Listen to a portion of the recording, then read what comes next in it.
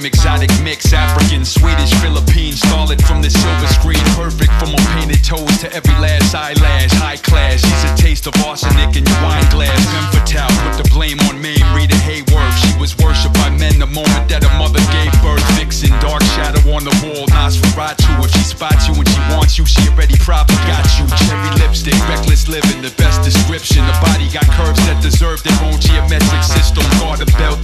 stiletto heels, don't trust it. Long legs, Lana Turner style, film noir,